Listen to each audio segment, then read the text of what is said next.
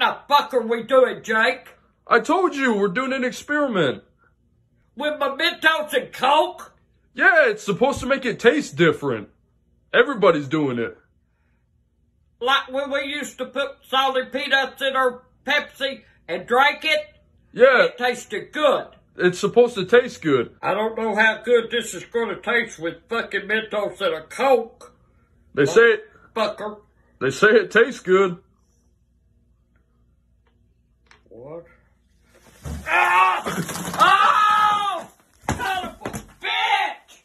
Motherfucker! You mother... Oh! What happened?